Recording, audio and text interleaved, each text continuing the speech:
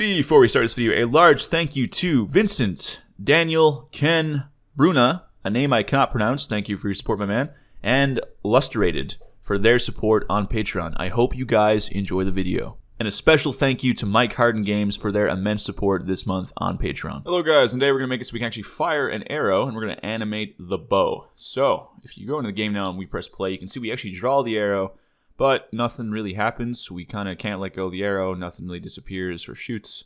So we want to make it so we can actually fire the arrow, and we're going to animate the bow. So let's animate the bow first. If you have a rigged bow, and Synty supplies one for free, the exact same one I'm using actually, um, you can go in here onto the model make sure you add an animator component, as I've already done.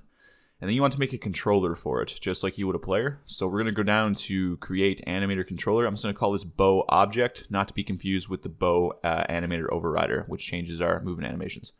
Drag it in there, and we're good to go. So I'm actually going to release this animation pack uh, for sale at the end of this the next episode. Um, so, but if you have your own animations, you can follow along here too. Uh, if not, you can wait until the next episode, and I will actually be supplying all these.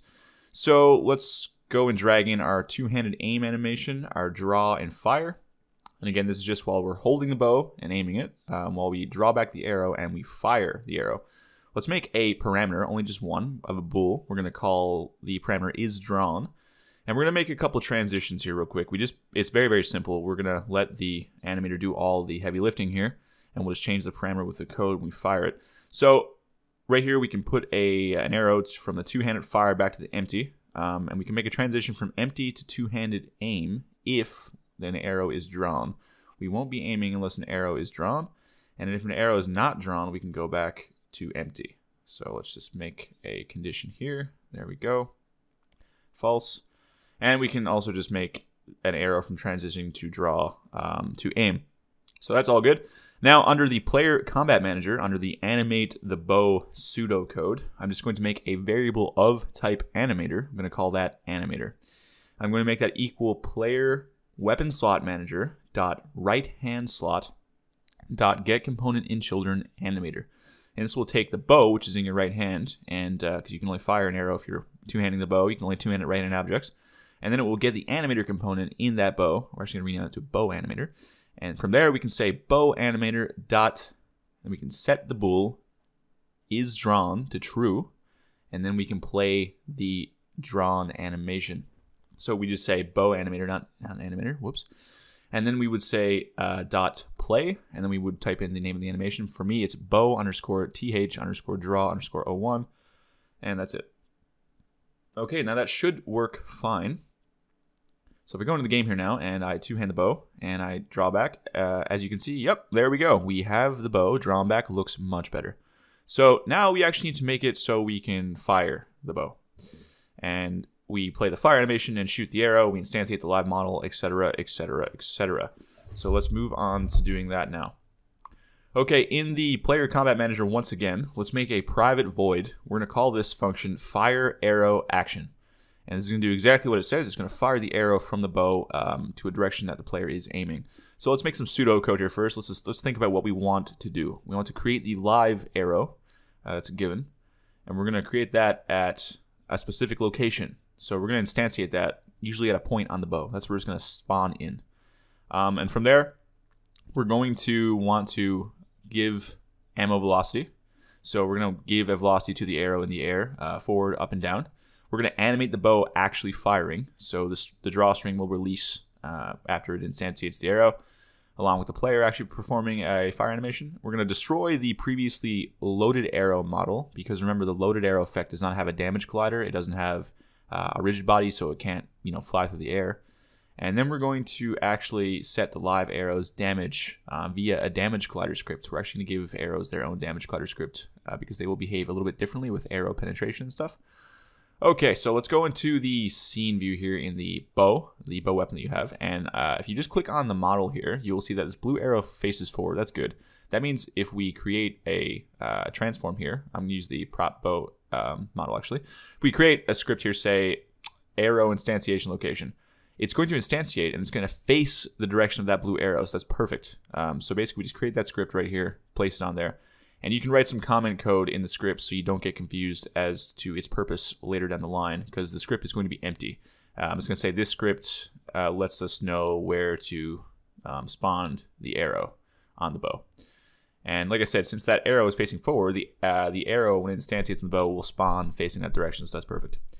Um, okay, now we're good on that front. So let's actually start plugging in some logic here. And the first thing I'm going to do is make a variable of type arrow instantiation location, uh, the one we just made on the bow. I'm going to call it arrow instantiation location.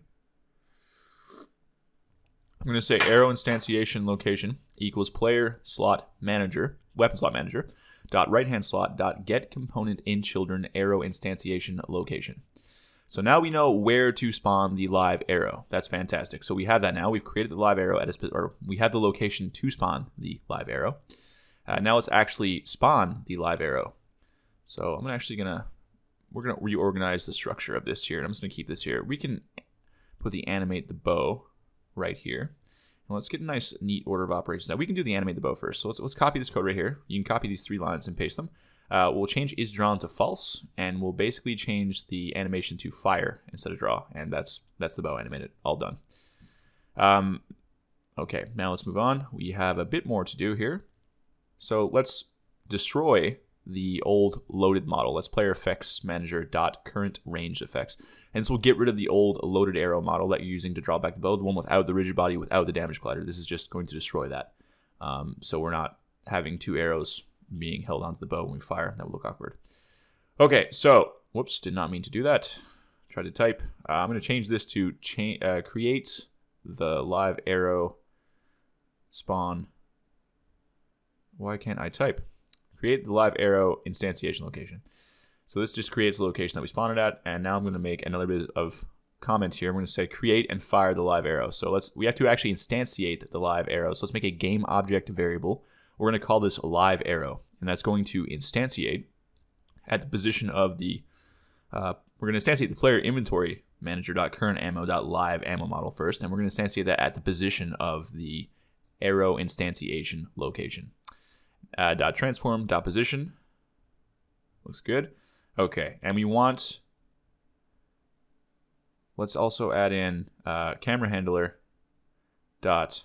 I believe it's our camera pivot transform dot rotation for which direction the arrow will be rotated towards. Yes, that is correct. So this will that's where the arrow will rotate when it is spawned in.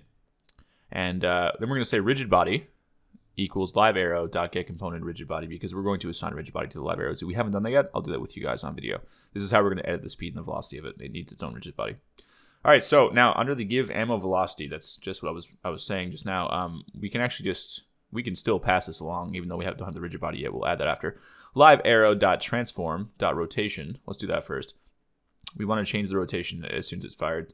Is going to equal to quaternion dot Euler, and then we're going to say camera handler dot camera pivot transform dot Euler angles dot x, uh, and then we're going to say our y will be the player manager, and we can reference our lock on transform here. Uh, that's just the direction that thing faces. And then we can say dot Euler angles dot y and then just zero. And that's a fancy way of saying just basically we're going to make the arrow face where the camera is facing um, and our player is facing. So just like the spells, identical to how we did the fireball spells pretty much. And then we'll say rigid body dot add force um, live arrow dot transform dot forward times player inventory manager dot current ammo dot forward velocity. So we're signing forward force depending on the forward force of the ammo item itself. And then we're going to do the same thing with the upward force. So live arrow dot transform up times the current ammo dot upward velocity. So this will give the arrow, you can give it some some rise to. And if you want to, we can say rigid body dot use gravity equals um, the current ammo dot use gravity. So if you don't want your arrow to you know fall over time, or you want to be magical and floaty and wispy, you can just turn off gravity and have it dematerialize after a amount of time or something. Uh, and then we can say rigid body dot mass is equal to player inventory manager dot current ammo dot ammo mass, and that's that gives you a lot of uh, a lot of options to tweak your arrow speed and the dynamics of it. So lastly, we're going to say live arrow.transform.parent equals null. That's important. Make sure the arrow has no parent. We're going to destroy it in the scene um, on the next episode when we actually do some polish elements and add the zoom aim function. Uh, but for now, I digress. Let's continue. So let's let that save. Now let's go into our live arrow model. So you'll see we have an arrow, and uh, that's it right now. So on the arrow itself, I'm going to add um, let's add the rigid body and a capsule collider. So you want to add a capsule collider. I just turn my gizmos on because I'm not able to see this right now. Okay, there we go. Now I uh, just tweak the radius. I'm gonna put mine on, yeah, 0.1 start off. We'll see, and uh, change the direction to z-axis most likely, unless your arrow faces a different way than mine. Um, I'm gonna crank the height so it takes up most of the arrow shaft, and then I'm going to really make the radius very tiny. Um, you can um, you can get away with even 0.01, honestly, I think, but that's that looks fine for now. So uh, you want to keep the head of the arrow empty because we're going to add a damage collider on that. So let's make an empty game object under the arrow called damage collider. And then let's add a capsule collider. And we're going to position that capsule collider at the head of the arrow. And this will be the place that detects uh, enemies, characters to damage, etc., etc. Need to take a sip of this tea. Hang on. Yeah, so tweak the z-axis um, until it's in the center of the arrowhead up there. Make sure you enable is a trigger. Um, that's important because our damage collider system uses on trigger entry. Okay, so next I'm going to add a script called Ranged Projectile Damage Collider, okay? And we're going to put in a namespace. Mine is SG, uh, as is per tradition. You may put in whatever you want. I'm going to make this derive from Damage Collider. So it's going to get all of the cool stuff our Damage Collider already gets, but we're going to tweak it because, not in this video, but in the next video, we're going to make it so the arrow actually can penetrate a surface and stick into it. Um, so let's change this on trigger entry under Damage Collider to Protected Virtual Void so we can override that um, function on our ranged uh, projectile damage collider. We're going to use the exact same logic. We're not going to change anything in this video, but in the next video, we're going to change it a little bit. And we're going to add some stuff to it. So let's just say I'm not going to use base because because we're going to modify the next video, I'm going to copy and paste the whole bit of logic in here because um, it will work very similar, but it will be a little bit different. So for that for that reason, I'm just going to not run the base function. I'm going to copy everything here, and we'll change that in the next episode. Um, so shield has been hit and has been parried is not able to be accessed. So change that to protected. It's private right now. And then we'll be good. And we're going to make it so you can't parry an arrow, obviously. That would be really cool and kind of funny, though, but we're, we're not going to do that. We're not going to do a Valheim. Um, okay, so next we're going to add a couple variables here just for the next video, just to set the stage. Let's make a uh, ranged ammo item. Call that ammo item.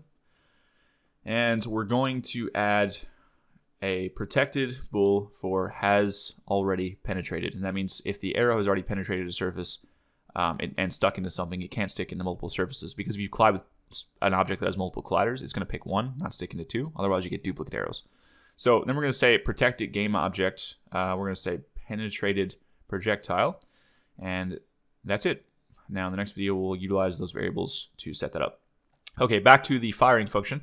Back here in the player combat manager, um, down here under create and fire the live arrow, we're going to simply say ranged projectile damage collider equals live arrow dot get component and children ranged projectile damage collider. And I forgot to actually give that a name. Um, I'm just going to call that damage collider. Uh, you can call it whatever you want. Again, this is just referencing the damage collider on the arrow that becomes live when the arrow has been fired. So from there, we can set our damages when the arrow is shot. So we can say damage collider dot, uh, you can do physical damage. I'm going to set the ammo item first to player inventory dot current ammo item. This will be used in the future to grab the penetrated arrow model and instantiate it on whatever the arrow hits.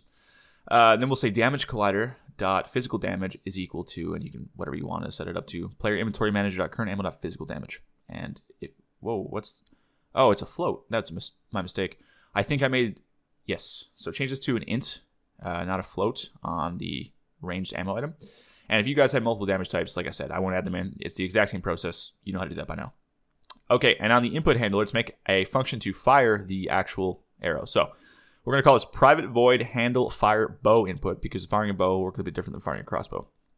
We're going to say if fire flag, uh, then we're going to basically say if player inventory or player manager, sorry, is drawn or is holding arrow, uh, then we're going to do player combat manager uh, dot fire arrow action, and we're going to change the fire flag to false.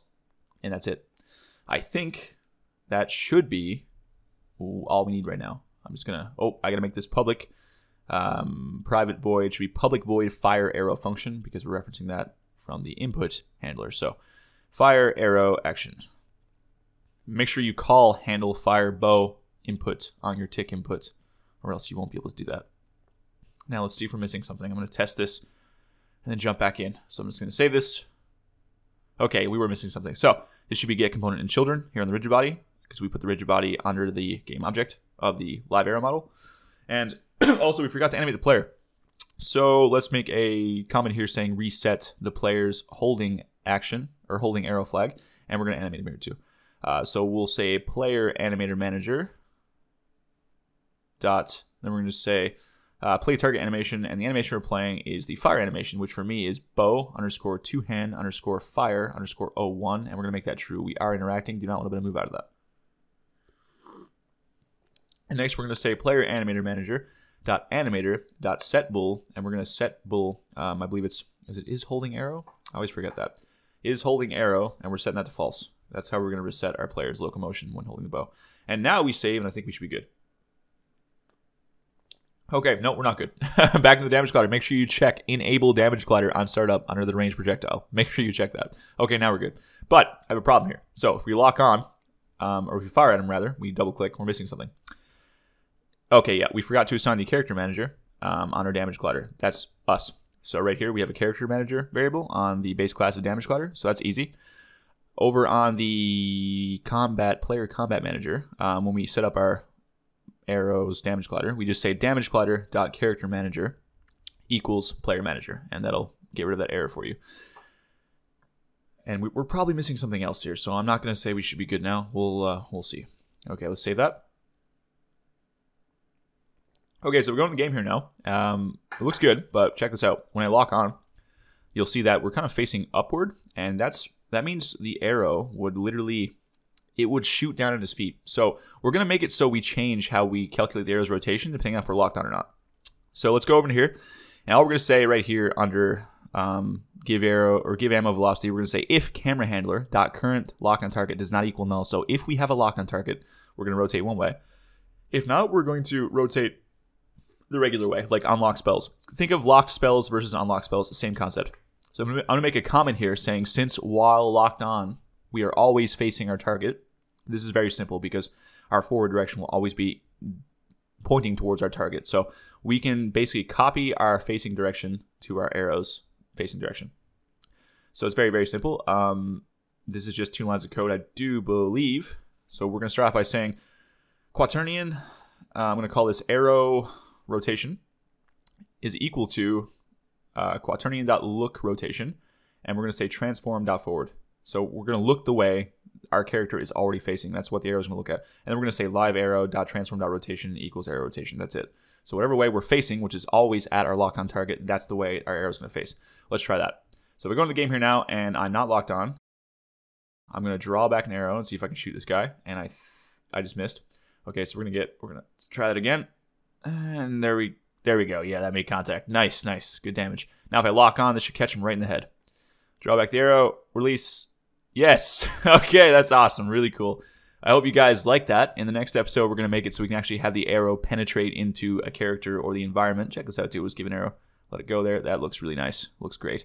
And we're also going to add um, just some more cool things. We're going to, you know, destroy the arrow after a certain amount of time. Um, we'll polish up a little bit. And then we might also get started on our actual zoomed in aiming in the next episode as well. Most likely going to do that where we can like hold the left bumper and go into the aiming sequence and the camera changes. So if you guys did like that episode, I love this episode. Please drop a like. Don't forget, it genuinely helps out my series so much. Uh, leave a comment. That helps out even more. More interaction with the video. More people see the video. I get to make more videos. And if you feel like a super champion, check out my Patreon below. Really excited to get to the next one where we can probably conclude this. And then we can start going over and polishing some more of the combat elements. And guys, this is getting really close to a like a prototypal playable project. I'm gonna really start um, winding down now and, and polishing some stuff up, and we can try to make an actual like you know gameplay loop here. So I will see you guys in the next episode.